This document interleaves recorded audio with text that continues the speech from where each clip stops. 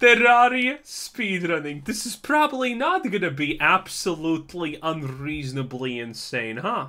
Today we're speedrunning Terraria with my friend Purple Hair Guy, so we'll start the speedrun as soon as he spawns in and I click to join his game. Now doing a co-op speedrun has its advantages like us being able to work on Oh two different things at the same time, but the bosses are going to be a lot harder and we need to share resources so it evens itself out. But for the start, Purple Hair Guy will be making four houses and I'll start looking for money. So first I needed to create the houses for villagers to Four houses seems oddly specific. move in. I built them like this because they only require table, chair, quote, walls, and a certain amount of space to actually work as a house. Now platforms count as walls if you surround them completely, and Yeah, you, he said quote walls. they're happy about it, so they're pretty much just living outside. Now, with these houses, NPCs will move in, and there's two specifically we need. The first being the merchant, the second being the demolitionist. The merchant will actually move in after you get 20 silver, and he can be used to sell our stuff too. He'll give us money for it. The demolitionist, we need five bombs and the merchant to live in our house, and he'll sell us dynamite, which will pretty much be used Nice. in all of our boss fights and more throughout the game. There's actually a third NPC that we want. I mean, explosives are really strong in Terraria, so it makes sense. Hunt we don't really need. It's the nurse. We can pay her to heal us. That won't be useful until later in the game. There's also a really weird spawn. I've never seen a Terraria world where the jungle is like literally in the spawn area. It's like a super difficult biome, but it will help us later on in the run. So while Purple Hair Guy was making those houses, I started my search for gold and headed over to the left. Really quickly, I found a snow biome and got crazy good luck for this run. Like right away, I found an abandoned house, which means an immediate chest. And in this chest, I got an Oh, ice sword, look which at is really that fighting beauty! An ice sword instantaneously off the bat. Now that's pretty lucky. enemies in early game. I then found a second house, and this one gave me a snowball cannon, which is even better, though we'll get back to that later. And also in this chest, I got a gravitation potion, which isn't important right now, but it will be for a Huh. boss later in the run. And to make this start even better, I also got a third house in the same section with an extractinator, which is really good to sell. But this ain't a world record, is it?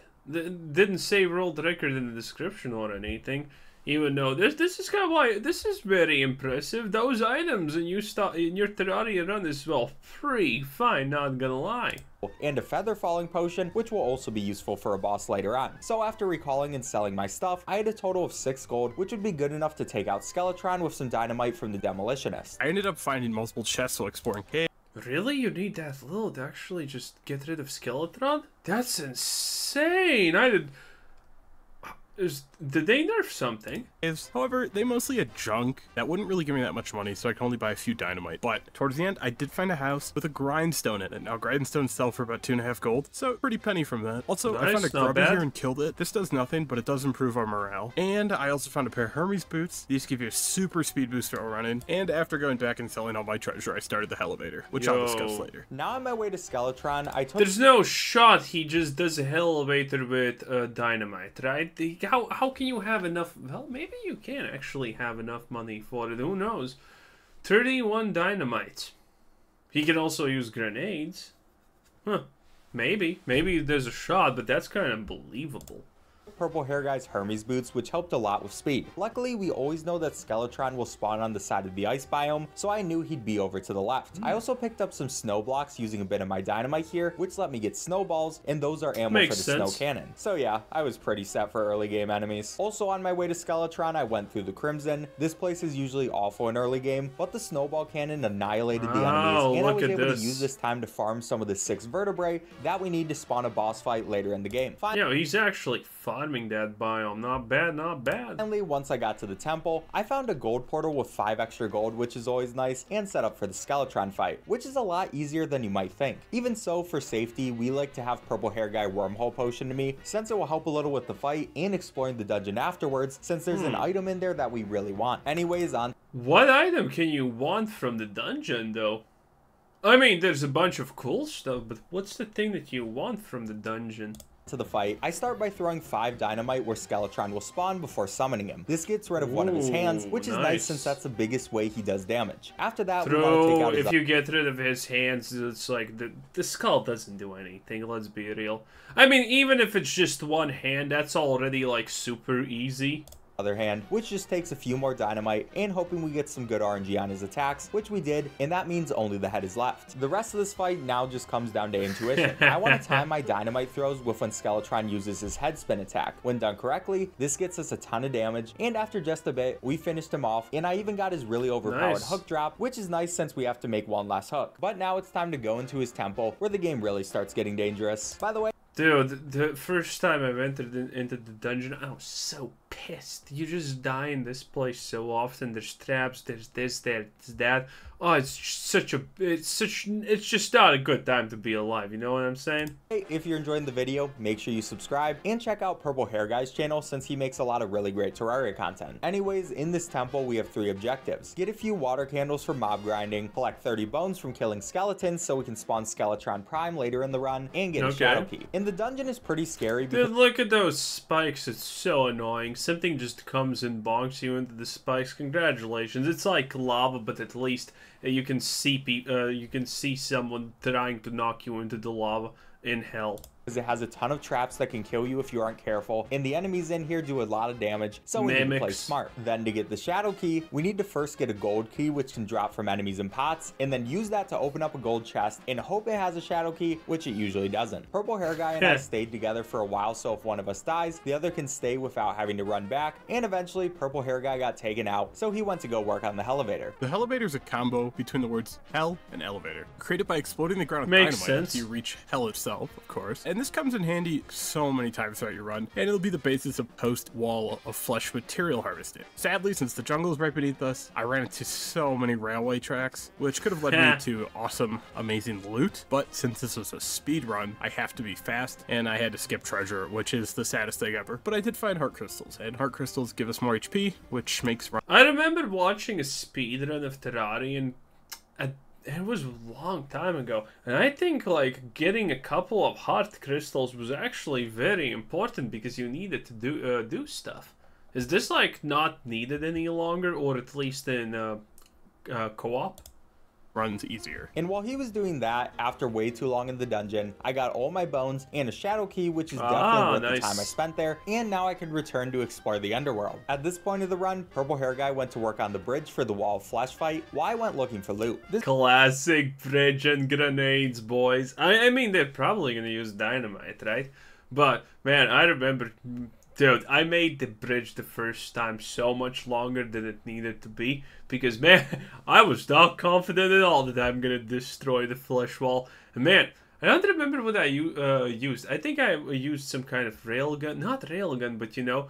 The not no not even the shotgun. I used some kind of bad gun and I didn't use grenades because I didn't uh, I couldn't get the money because I was dying so often. There's a few things we need from the underworld, but the important ones are a bed, obsidian skin potion, and better weapons. We can find a bed from the houses in the underworld, and the other stuff in either pots or chests, which I can open with the shadow key. Also, another nice thing about the chests is they can have a bunch of additional loot, like spelunker and gravitation potions, treasure magnets, and stuff to sell, so it's worthwhile to look while Purple Hair Guy builds the bridge. Doing this, I found a Sun Fury, some Hellwing bows, and a bunch of potions. Purple Hair Sun's Fury's bad, Hellbow's cool. Hair Guy also got a yo-yo, which will be really good for later, so this was a really good section of our run. Now it's time for the Wall of Flesh fight, which is one of the most basic fights, but also one of the most challenging fights, or not really challenging, but annoying. You need to sacrifice your guide in order to summon the wall, and you can do this in two ways. You can either find a Voodoo demon and kill it, and then get his voodoo doll and throw the voodoo doll in the lava, or you can make the guide a lovely house and then break out the floor and set a I had no idea you can do that. I thought the only way is to get this done is by having a demon like this, just have a guide doll attached and then you get it. Dude, that is insane. I didn't even know this is a strat. for a hot bath. Uh, after you murder him in cold blood, I guess in hot lava, you pretty much just Oh run in a straight God. line and time dynamite throw. Dude, look at how slow it's moving. I was so afraid of it back in the day. so they explode on the eyes and the mouth of the wall of flesh. This isn't as easy as it seems because the wall will speed up as its health gets lower, but as long as you just keep running, you'll probably be fine. Maybe. And just like with Skeletron, we had both me and Easy here just in case I died, but we don't want him throwing dynamite because that'll actually slow down the fight because if a dynamite explodes the bridge, the other dynamite will fall through it and probably won't hit it. So he just put campfires down to give me a health regen and killed enemies if they tried to kill me. So once the wall is dead, he Got up a it. few important pieces of loot. Sadly, this time we dropped the Clockwork Assault Rifle, which we can't really use because we need ammo for it, and it's just kind of mid general. But he did drop the Pwn Hammer, which is a guaranteed drop, and this allows us to break Crimson Altars. If you break a Crimson Altar, you spawn hard mode ores. But before I go and break those altars, I need to chuck an Obsidian Skin Potion, hop down in the lava, and break Hellstone so I can get a pickaxe in order to mine those hard mode ores. Super complex. Which means we're back to being separated, since I'll be going for 9 Souls of Light, 9 Souls of Night, and a bunch of Ichor. I always like to start with finding the Souls of Night in the Underground Crimson. To do this, we can see where the game changes a bunch of blocks into Crimstone, and that means we're in the right area. Then we want to place a long bridge of our own Crimstone blocks to hopefully spawn Ichor stickers, since they drop Ichor. Then from here, I can build a platform slightly above the Crimstone blocks and place two chests on it, which prevents those blocks from being exploded by dynamite. After that, it's just a matter of building up using wooden planks, putting a water candle down on top to spawn more enemies, and then throwing dynamite on the chest to take out everything that spawns. I can also use the yo-yo I borrowed from Purple Hair Guy to help with any extra enemies, which is really nice since it keeps the Ichor stickers stunned and we can take them out easy. After a while of doing this, we should get a bunch of Ichor, which will turn into Ichor arrows later, and our 9 Souls of Night. So it was time to move over to the right and get our Souls of Light. Meanwhile, I was mining hard mode ores. There's actually three tiers of ores. Tier 1, 2, 3, which, you know, makes total sense. And you need a pickaxe or a drill of the previous tier to mine the next tier. So, since we had cobalt, and then orichalcum, and then adamantine, I needed a cobalt pickaxe to mine ore. Wait, how did they already get a drill? Or are you supposed to? I don't remember. Are you supposed to have a drill that fast? Calcum. Simple as that. And since multiplayer boss fights are actually harder, I always like to mine more to create armor, because, you know, better safe than sorry. Armor gives us more defense, more defense means we die slower. Now, this would be a waste of time, except Easy's gathering souls while I'm doing this, so we're kind of doing things in tandem, and it's an overall benefit to us. I got back together with Easy at the end to help him get Souls of Light. You know, I'm the better gamer. I gotta get them souls. We got our 9 Souls of Night and our 9 Souls of Light, and we went on to the mechanical bosses. Our first one being the Destroyer, which takes Okay. 5 iron bars, 6 vertebrae, which we gathered earlier, Oh come six Souls of Night. On! It's it's the cheesy strats. Like come on. This dude is literally so easy. We just make a box and a platform with chests on top of it, and we throw dynamite down. The way our structure's built, the destroyer Wow. actually can't hit us, and we just consistently explode him Dude, all the Worm bosses are so basic. It's just painful. until he dies. It's But remember when you uh, just just did the basic Devourer in the corrupt biome, and you just like found out that you can just spear him and it does like fifty damage. Oh boy! It's like guns completely ineffective. Giant arcing hits though. Mwah, the bomb, boy.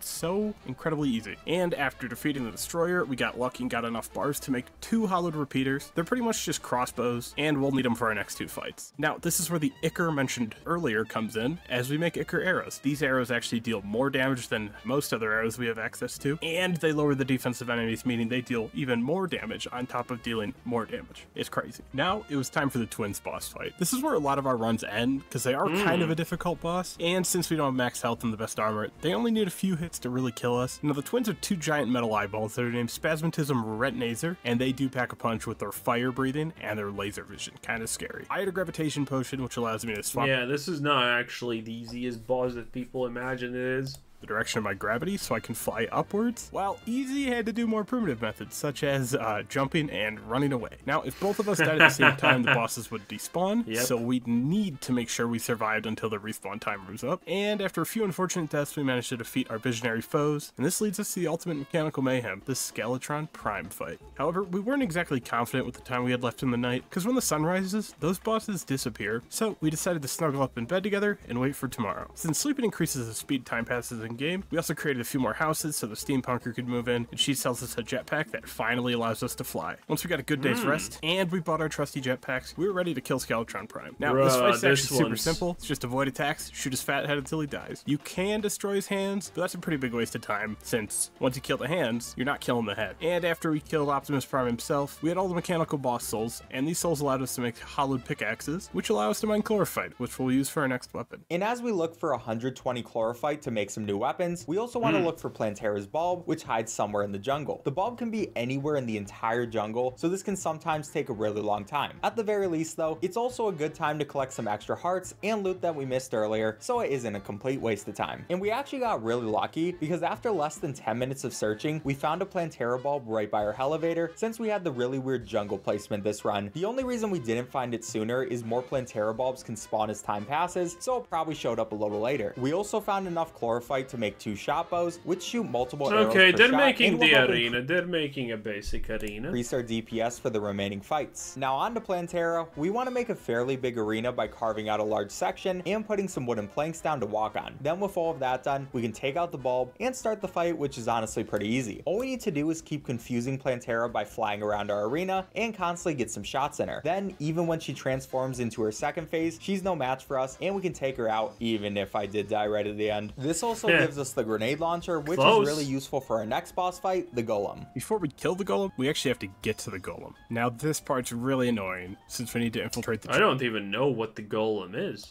Jungle temple. Now the jungle temple has a ton of traps and these stinky lizard men that'll try to stop us, but they are really no match for us. It's always the lizard people doing the problems After through. reaching the boss room, we broke all the traps that were set inside of it and made a platform towards the ceiling to stand on. Now, the golem is basically three parts. He has his hands, his head, and his body. Now, the hands will just try to fist you no matter what, and you can destroy them, while the head will only start trying to laser blast you at half health. Once you destroy the head, it'll open its body section. Sadly, we ran into a few tough times here and got wiped while the golem barely hmm. survived. Now, this wasn't the end, because this boss can be summoned multiple times. We just had to get back to the boss room, buck up, and fight him again. This time, absolutely wiping the floor. And Easy got a sick boss fight clutch. Now here's where two really unfortunate things happened. First, after my high of clutching out the golem, we got a really good pick saw that I gave to Purple Hair Guy, so he gave me his old pick to sell. But I wasn't thinking at all and ended up selling both his and my pick. So it looks like I'm using an iron pick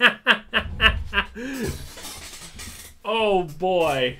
Ain't that ain't that a classic pro gamer move right there? for the rest of the game. At least it's logical. Damn it! I hope at least he drank a monster monster bull and did something to his wife because man, that that that should you you need to take the pressure off. but that's not too big of a deal, especially compared to the next thing that happened. See, we were setting up for our next boss, the Lunatic Cultist, who's at Skeletron's lair, and to do this, we wanted to create a house for the nurse to move in so we can use her for healing. But she can only change houses during night, and sadly, before she could move in, we got a pirate invasion. Invasions are events that can happen Nice. randomly in Terraria, where our village will constantly be attacked by a certain enemy. Now, normally this wouldn't be too bad since pirates aren't too hard of an invasion, but we quickly learned that because of this invasion, we couldn't sleep and passed time quickly, which meant the nurse couldn't move in, and we had two choices. The first was to wait 15 Makes minutes for night to come and play it safe, while the second was to just not care and try to beat this really hard fight without the nurse, and yeah, pretty obvious what we went with. Now, not all was lost for this fight, since we had some really good health potions and we're doing co-op. This meant if one of us got low, the other could try to take aggro from the cultist so we could wait out our potion timer. The real issue with this fight though is when the cultist tries to spawn enemies. He'll sometimes go into this phase where he produces a couple clones, and if we shoot a clone instead of him, or if we take too long to hit him, he spawns a really powerful enemy and we would almost certainly lose the fight. This is why we also removed the floating island in the air by the way, since we've lost multiple runs to him getting stuck in the island during this attack, which made it so that there was no way to hit him. But other than that, it was just pure focus time, especially since there were a few times where one of us went down and the other needed to stall to give them time to respawn. This was probably the most stressful fight I've done in Terraria, and right when we were finally at the end, the craziest part happened. I was currently in the act of stalling for Purple Hair Guy to get alive again, and literally right as he got respawned, I died, meaning I just barely held out enough for Purple Hair Guy to come in and us Clutch. to finally beat the fight. So after all that, there's just four Okay. pillars and one Moon Lord to go. The pillars are essentially mini events that need to be completed in order to summon the final boss, the Moon Lord. They're generally pretty difficult, as the enemies they spawn have a gimmick and are actually like super powerful. You gotta complete each pillar by killing 100 of like the associated enemy, and then destroying the pillar itself, which has like 20,000 HP. Oh my gosh. However, there's uh there's a lot of ways to cheese this. The first pillar we needed to clear was the Vortex pillar. Since we were being invaded by Jack Sparrow and his crew of salty sea dogs, we really didn't have time to gear up, so we just had to run into the area and hope for the best. Now we died a bunch, but I I mean, this looks like a tactic and a half. If I'm being completely honest, not bad. I managed to dig a hole, so it, it all worked out. You just have to sit in that hole and, And he, dude, and he's just shooting upwards. Yeah, it's just a good repeater. Wow. And it will kill everything. There's there's no chance. And after destroying it, we got the vortex fragments, which we can use to craft the phantasm, which is a really powerful bow, and we'll need it for the next pillar. Next, we were on to the Stardust Pillar, and there's even better cheese for this one. What we want to do is bring a few star cells out of the pillar's range, then again, we can dig a hole and shoot up at them. The nice thing about this So it's shooting like how many arrows is it shooting? Is it is it an RNG amount of arrows that it shoots? enemy though is they split into mini star cells when defeated and will grow back back into regular ones after waiting a bit. So we can take out 100 of these and call it a day. Then all that's left is taking out the pillar like usual, and we get the Stardust Dragon. Yo, did you is- see? Did you see how fast that this uh they were doing damage to him? after waiting a bit. So we can take out 100 of these Look at and this! call Look at this! Pillar like usual, and we get the Stardust Yeah, yeah. Look at this, dude. That's insanely fast. 100 of these and call it a day. Then all that's left Bam, is bam, taking bam, out the bam, pillar bam, like bam, bam, usual, bam, and bam. We He's literally doing 2k damage per second. We get the Stardust Dragon, which is an insanely Damn. strong summon that we'll be using for the rest of the speedrun. We also were able to finally get rid of the Pirate Invasion here, which is pretty important for a bit later, so things were starting to come together. The third pillar we were doing was the solar pillar. This one's actually really interesting as you have to do a super weird cheese for it. You have to get as high as you can in the sky so there's no blocks for enemies to spawn on. You can do this with junction boxes, which can oddly be placed with nothing around them. And then you hmm. can place a platform on top of them, which you can hook to to stay in the air. Then we built essentially what is a giant fishing hook and stood on top of it and let our Stardust Dragons do their thing and destroyed the pillar by just shooting off the side of it without any enemies spawning. It's Nice. really awesome. This gave us some solar fragments, which we used to craft daybreaks, which will be our main weapon for the Moonlord fight. Look at And that finally, spear. our fourth pillar is the Nebula Pillar, Beautiful. which is going to be the hardest one since we won't be using cheese for it. I also unfortunately was on my own for the beginning of this fight, since Purple Hair Guy was busy building our arena for the Moon Lord, and my loneliness made me die a few times. Other than that, there's not too much to say, besides the fact that Purple Hair Guy got a hallowed hood, which allows him to have another segment on his Stardust Dragon. Sadly, we only had enough resources for one, but it was really helpful for defeating the last pillar and getting onto the Moon Lord. And the Moon hmm, Lord's honestly nice. not too bad of a fight with the structure that Purple Hair Guy made. Basically, we have the nurse trapped in a really uncomfortable space so she can heal us, in this stone structure at the top Nice. I would also trap a nurse in a really uncomfortable space so she can heal me. So the Moonlord can't hit us with his laser beam attack. After that, Huh. all we need to do is use our daybreaks to hit the Moonlord's head and hands to get him onto his next phase. The only real worry is with the nurse. We always need to pay attention to our health and make sure we don't die. But we can't always have her heal menu open because then she won't be able to heal and will end up dying herself. Because of this, for the first time in our 80 Ooh, hours look of at practice, this. Purple Hair Guy died instead of me during the Moonlord fight, and I had to clutch up, which was terrifying. Like many other times in this run, though, I was able to clutch up when it was needed and get the Moonlord onto his last phase, where we recall over to our bed and start shooting down. You can't see the Moonlord's eye on his chest because the background is covering it, but it's really easy to take out. And finally, after four months Okay. of practicing this speedrun, we completed it in 2 hours, 49 minutes, and 39 seconds, which will land That's us ninth place on the speedrun that's impressive. Wait, look at this. Uh, of fourth place, one thirty. Fifth place, two, and then this is like five hours, two hours, three hours. So this is something new-ish, I guess. Well, I never saw anyone do this before, so kind of wild.